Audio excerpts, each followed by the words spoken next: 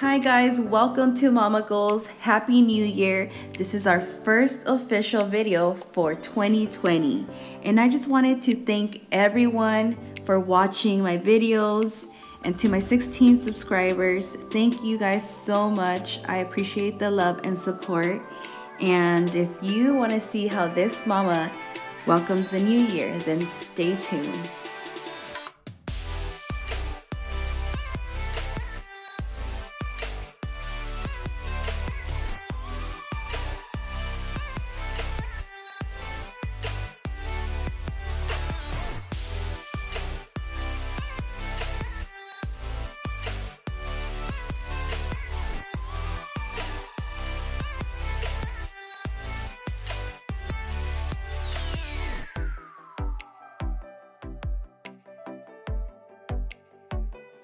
Good morning, everyone. Happy New Year. Today is New Year's Eve, but by the time I edit this video and upload it, it's going to be sometime in the first or second week of January. So happy New Year to you guys.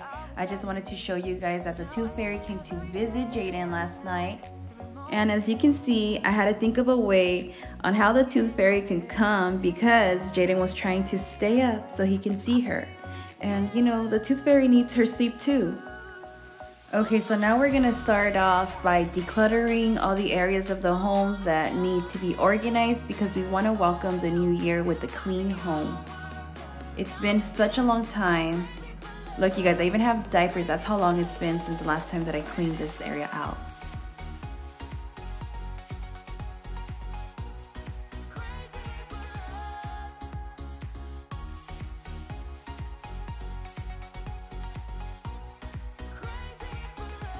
I don't know if you do this to moms, but every time I clean, I take a little bit longer because I start going through things like, look at this, this is so cute. These were drawings that my kids gave their little elf last month. And even my three-year-old made him a little something. So cute. These are keepsake items. Okay, so next, I'm um, just gonna change the batteries on things that need to be changed. And here I have an electric sharpener.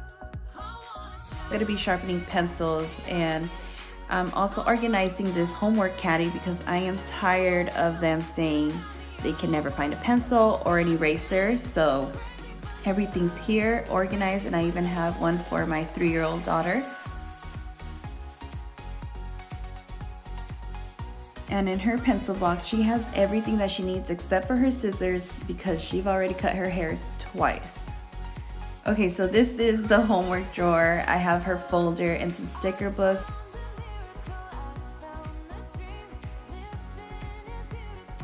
Now I'm gonna give everything a quick wipe and I have this area that I still need to file, but I can do that later. And this is just kind of like an office drawer where I keep some office supplies envelopes, tape, and stuff like that. And here I have my mini vacuum with an extension cord and some tools. And this is the homework drawer. I did add some Play-Doh because I need Sophie to entertain herself while I do homework with the boys. Now for a special breakfast for New Year's Eve, I'm making Minnie Mouse waffles. And I'm just using Krusteaz buttermilk waffle recipe that's on the side of the box. And I am so excited because I just got this Minnie Mouse waffle maker from Santa so I'm gonna give it a try and I think the kids are really gonna like it. Not only do these waffles look so cute, but they're very fast to make. I really like that it's a non-stick pan. I didn't know until I read the instructions. And you can make six at once. So I have an announcement for my subscribers. First of all, I just wanna say thank you so much for being part of Momma Goals. And I do wanna start adding positive quotes so if you're a subscriber and you have a quote that you want to share and you want me to announce it on my videos, please make sure you follow me on Instagram. I'm at mommagoals123 and make sure you DM me with your info. Okay, so for today's quote is if you're a mom, you're a superhero. Period. Oh, OMG. I love this one. Yes, I, I really like this one because as a mom, we take on so many things. I don't even know how we do it. So hell yeah, we're superheroes. Uh, comment down below. Let me know what you think.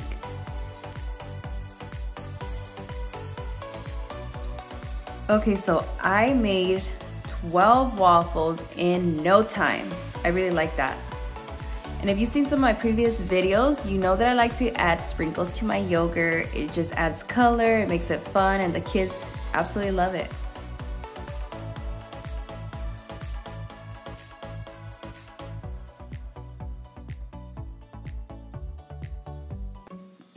Now for dinner, I'm gonna be making prime rib. This is a special cut of meat that I only make on special occasions because it's a little bit pricey. I recommend for you to buy a boneless roast, but have your butcher tie the bone back on. And for this, I'm only gonna use three simple seasonings. What I always use is kosher salt, garlic salt, and Montreal seasoning. But first, make sure you pat dry the roast. You want to make sure that you cover the roast after seasoning it and let it sit for two or three hours outside of the refrigerator. And now I'm to be cleaning this area with Get Clean Germ Off by Shaklee. This is a natural disinfecting wipe. It's non-toxic and I'm currently in the process of switching all of my cleaners to a green clean home. And I'm to be making a separate video talking about the cleaners that we use at home because they're full of toxic chemicals and gases. So I want to make sure that you guys are informed since we're all moms. Okay, so next I am going to be covering these peppers and I'm just gonna roast them. I'm gonna be cutting my vegetables and prepping everything for tonight. I'm also gonna be doing some prep for my tamale party that I'm having tomorrow with the family. So I'm gonna be using my Instapot and I'm gonna be adding a huge chuck roast, garlic, onion, and I'm just going to boil that for about two hours until the meat is tender because I need to make shredded beef. I'm just gonna devein these guajillo chiles and here is my peppers. They're nice and roasted. I'm gonna be making a pasta sauce with this. So I'm just gonna devein them, clean them out a little bit, and I'm gonna throw them in the blender with sour cream and chicken bouillon, you guys. That's how simple this sauce is and it's delicious. Okay, and for my pasta, I'm gonna be using bow tie pasta. Um, I think I just really like the, the texture of it. And I always read the instructions because it tells exactly how long you should cook it for. And then you want to just cold shock it when it's done with some cold water so it stops the cooking. Now I've already had my roast in a 500 degree oven for 30 minutes and I'm just to check the temperature really quick. Then you want to lower the temperature to 325 degrees and add about 20 minutes per pound. Okay, so for this, you want to just, you could use one or two bell peppers. I love the flavor uh, when I have two. And then just add maybe like a 16 ounce sour cream container. I just have a big one here. And to go with this prime rib, I'm gonna be making horseradish cream. So it's just sour cream and a little bit of your horseradish. Just mix that up, cover it and put it in your fridge to let it set for a little bit. All right, you guys, so it's been two hours later and look at this. It looks amazing. Okay, so look at this beauty. Like this, oh my gosh, I'm so proud. This looks so good. All the edges are nice and crisp and the temperature is at 135. I'm just, I have to take a picture, you guys. It looks amazing.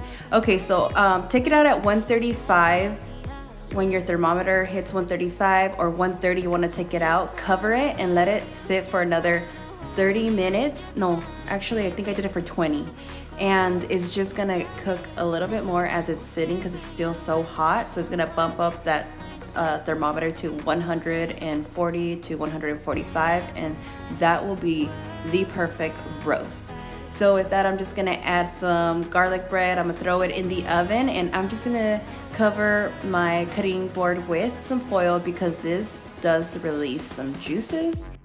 You guys, I never thought I would be making anything like this because it's so intimidating. This is an expensive cut of meat and if you mess it up, it's gonna be really sad. But really, it only looks intimidating. It's not. Okay, so I'm gonna let my husband do the honors because this is his favorite dinner. And look at that, you guys. Perfection. Okay, so here I've already plated everything. I have a little bit of horseradish and oh my gosh, I have to have some of that crusty edge. Mmm, delicious. Okay, and to end our night, we had to have dessert, so I'm just making giant chocolate chip oatmeal cookies, and that's it with a glass of milk. Thank you guys so much for watching. If you like this video, please make sure you give me a thumbs up and subscribe for more videos. Till next time, and Happy New Year.